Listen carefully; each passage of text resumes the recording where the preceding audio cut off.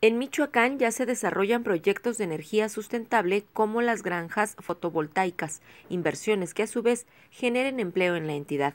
El titular de la Comisión Reguladora de Energía, Luis Guillermo Pineda Bernal, informó que el Estado tiene áreas de oportunidades con un alto potencial en todo el sector energético que permita un crecimiento económico e incluso ambiental al generar energía renovable. Sin precisar algún monto de inversión o qué empresas podrían instalarse, estas lo harían en la región de Tierra Caliente y centro de la entidad.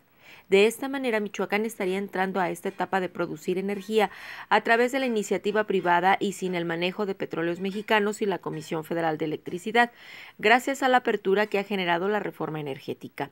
Hoy estados como Baja California Sur, Tamaulipas y Guanajuato, por mencionar algunos, ya producen energía, sector que está demandando poco más del medio millón de puestos de trabajo en capacitación. El comisionado estuvo en Morelia para impartir un foro sobre las energías y la competitividad ante la reforma energética. Yasmín Ferreira, respuesta.